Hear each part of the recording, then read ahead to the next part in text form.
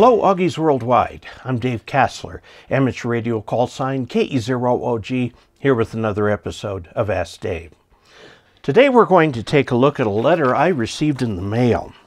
This was postmarked in Los Angeles. There was no return address, and it just said from a dyslexic ham in training. And uh, let's take a look at it because it's got a very good, very basic question in it says, I have a hard time figuring out how to understand the radio frequency spectrum. I see radios listed as 1.8 megahertz to 330 megahertz or maybe 54 megahertz and 160 through 6 meters and UHF and VHF. I know this is a bit of remedial math questions for you. Please do an Ask Dave video about the math explaining the ham radio frequency spectrum applying to the ham radio bands. Uh, certainly, happy to. Okay, let's take a look at that. Um, if we draw on here a line, and we do wavelength, which is represented by the Greek letter lambda up here, and the frequency, which is in, um, well, it's in hertz. Lambda is the wavelength in meters. So this is meters up here, and this is frequency down here.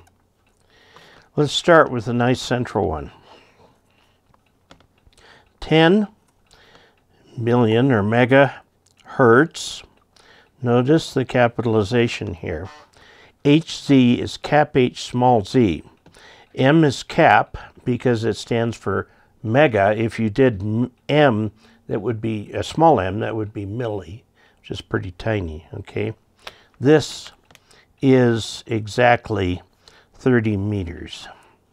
Now, what does that mean, okay? If you look at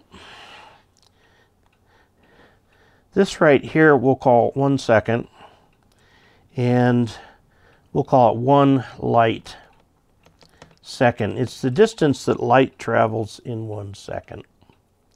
It's pretty far. 186,000 miles per second or 300,000 kilometers per second. Um, it's a long ways. Now, the wavelength, if a wave is traveling at this along here, okay, the wavelength is from the positive going zero crossing. Let me mark that in something a little different the positive going zero crossing to the next positive going zero crossing. This is the wavelength, lambda in meters. We usually measure wavelength in meters. Why? Because it's just the way it's always been done. Um, originally started in European countries, but a lot of the early radio stuff came out of Great Britain, but it was uh, Marconi, who was Italian, who did it and brought with him the metric system.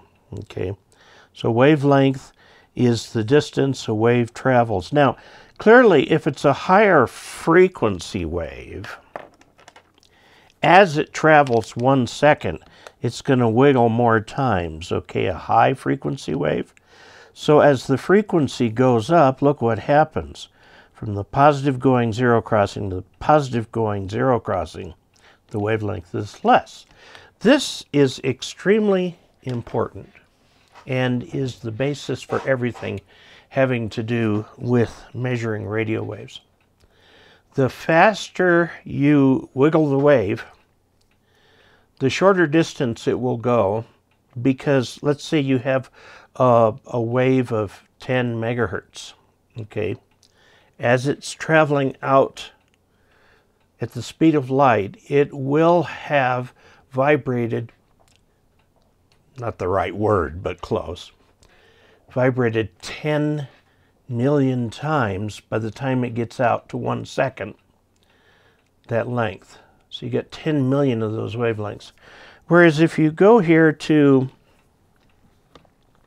three meters, Okay, you're at 100 megahertz. And if you go down to 300 meters, notice these are logarithmic scales. you are at 1 megahertz. Okay? So if you vibrate a hundred million times in that distance, each vibration will be smaller, hence the smaller wavelength. But the frequency, the actual, um, the frequency is the number of vibrations or changes or zero crossings, uh, positive going zero crossings per second. So if it's vibrating a lot, it's still going at the speed of light. Frequency doesn't cause it to slow down. It's still going the speed of light, okay? And because radio waves are a form of light. Light is a form of radio waves. It's all called electromagnetic radiation in an electromagnetic field or EMF. By the way, that's where the E comes from in uh, Ohm's law equals IR. E is the EMF or electromotive force measured in volts. Okay. Be that as it may, we're not talking about volts, we're talking about frequency. Now, note the relationship here. As you cut the wavelength by 10, you multiply the frequency by 10. If you multiply the wavelength by 10, you divide the frequency by 10. So is there a uh, constant in here? Yes, absolutely there is. As one goes up, the other goes down. So if you take the wavelength over the frequency, it's going to be proportional to the speed of light. So as the frequency goes down, okay, to be proportional, the frequency goes down, 1 over the frequency goes up. So it's the inverse of this. One is the inverse of the other. By the way, if you're curious, you see a little picture that says um, 1 half lambda equals 468 divided by the frequency in megahertz. And this is in feet. The 468 takes into account a velocity factor of wire of 0.95. Yes, it's true. Uh, radio waves go through wire at uh, more slowly than they do in air, which makes for all kinds of fun things happening. But now let's talk about some of the other things that's uh, in your letter. He also asked about things like VHF, UHF. I just put up a video showing how these things uh, go, but here's what it is. Now, let's look at frequency, and we're going to go up by tens again. So we're going to go um, 0.1 megahertz. It's 100 kilohertz. Okay, 1 megahertz, 10 megahertz, 100 megahertz, um, 1000 megahertz. Now, if we were to look at this, we would find that this is 10 is 30 uh, meters, or, and this is 300 meters, and this is 3 kilometers. Okay, this is 3 meters, and 0.3 meters, and so on. So as the waves go up in frequency, they get shorter and shorter and shorter. By the time you get up into the terahertz, and a little bit beyond the terahertz, you will find that you're getting into infrared and then light. Okay, and then from there into ultraviolet, X-rays, and cosmic rays. Okay, now um, we're looking here. We've got this kind of a little weird. Let's um, turn this around so that we've got frequency or uh, wavelength. And we've got down here, uh, at, we're going to do this at 300 kilohertz. We're turning the chart upside down. 300 kilohertz, uh, 3 megahertz, 30 megahertz, 300 megahertz, and so on. This range in here is called the medium frequencies. This term comes from way back a long time ago. These down here are the low frequencies. Okay. These frequencies right here from 3 megahertz, remember 3 3 megahertz is 100 meters. So you see 1,000 meters here. Okay, 10 meters here. Um, this is high frequencies. Low frequency, medium, high frequency.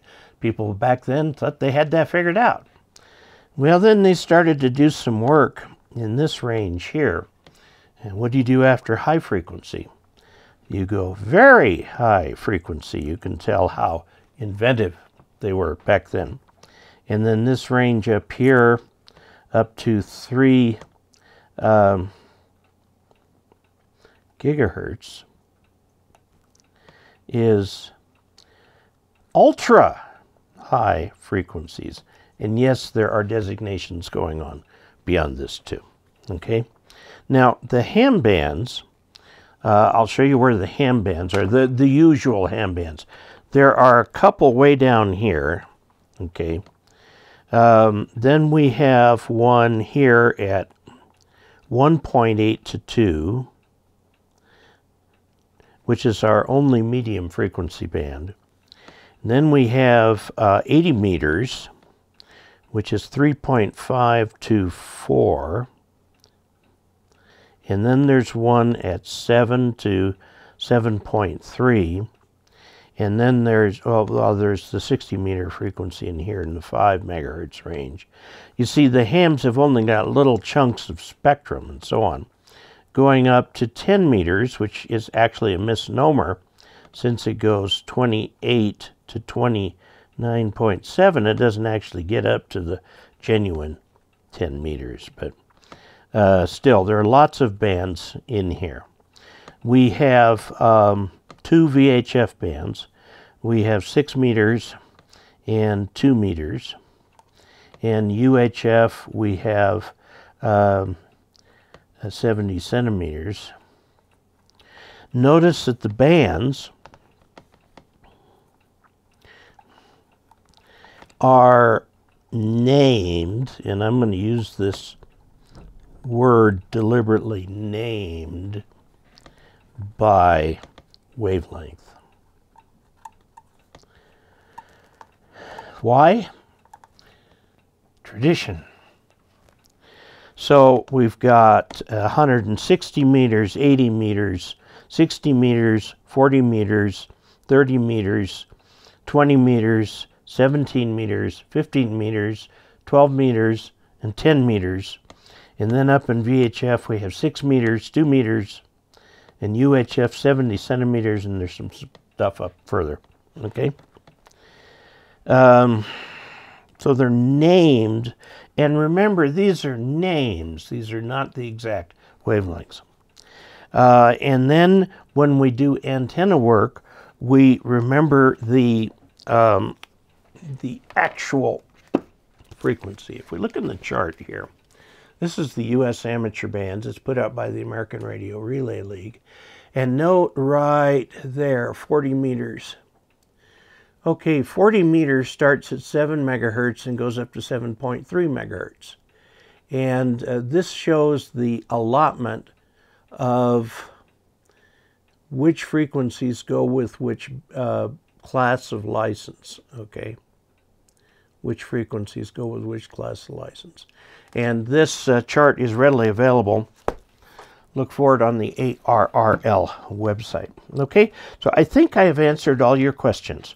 We have the question of what's the difference between the meter designation and the actual frequencies. Okay, what shows on the radio is a frequency.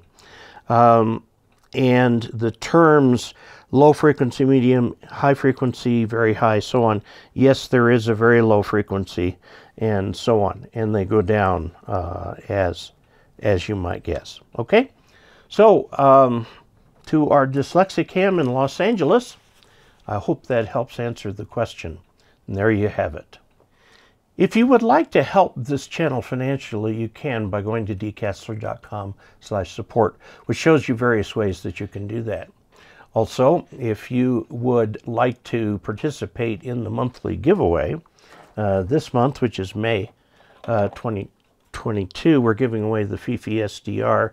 This is a little software-defined radio that I picked up a few years ago and have used for a lot of videos. I've since moved up in terms of software-defined radio, so I'm not using that one anymore. So let's give it away to an Augie. And you can find out how to enter by going to dcasler.com slash giveaway. And until we next meet, 73.